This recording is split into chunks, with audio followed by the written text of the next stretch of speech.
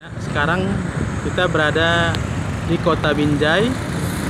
Tepatnya di wilayah Binjai Kota Yang termasuk dalam kawasan pusat atau inti kota Binjai.